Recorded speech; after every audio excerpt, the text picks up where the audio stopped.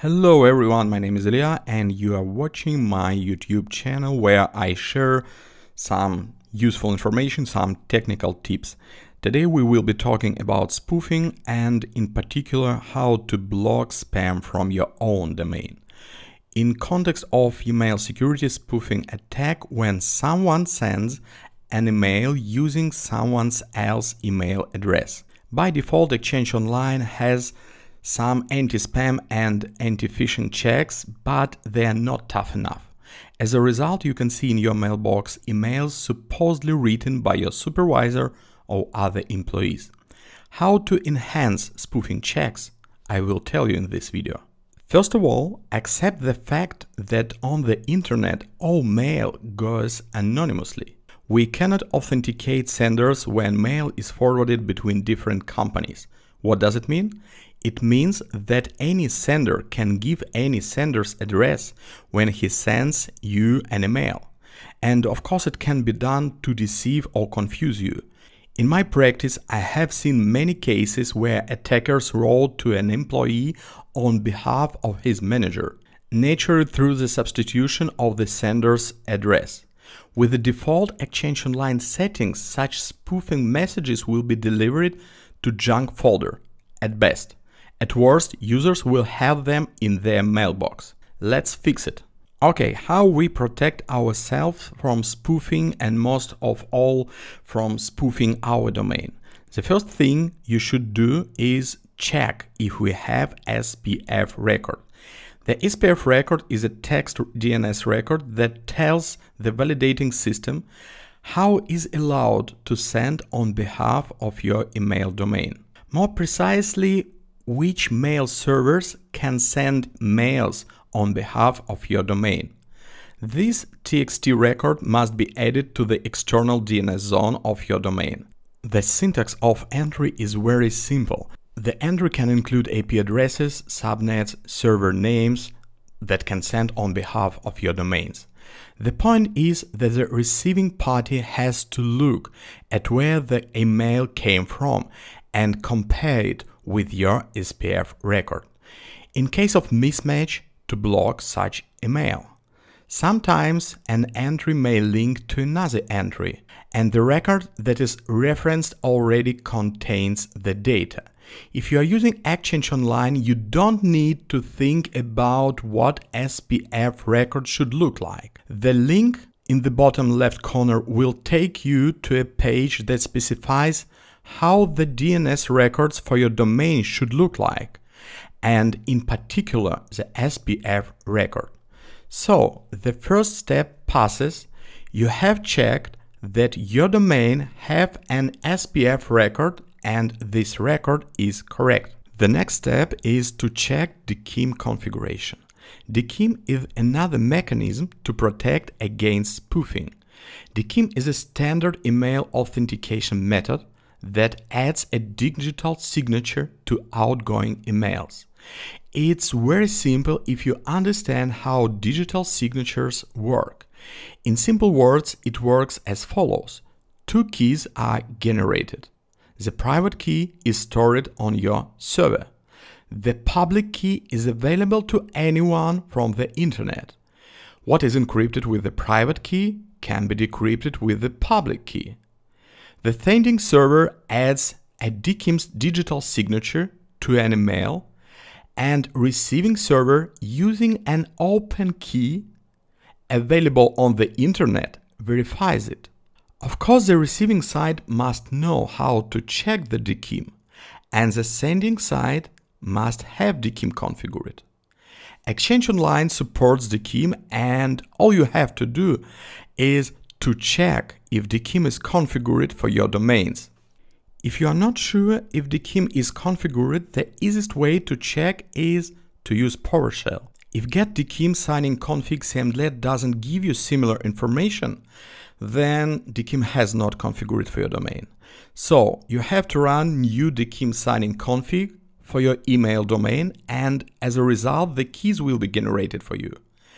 You don't work with keys directly all you have to do is to write two entries to the external DNS zone, indicating how external systems can access the public keys. After you have added these DNS records, you must enable DKIM for your domain. After setting up, you can send an email to any another system and then see the headers of that email afterwards. In the header of your email, you should see that digital signature of the DKIM has been verified.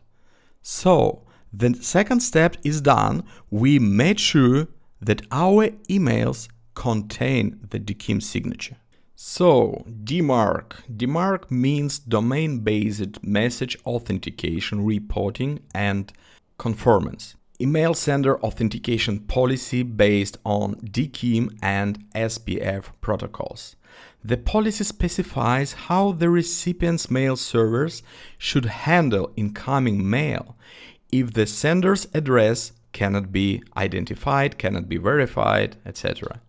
In particular, if the SPF check failed or there is no DKIM signature. For our email domains, we have to create another text DNS entry.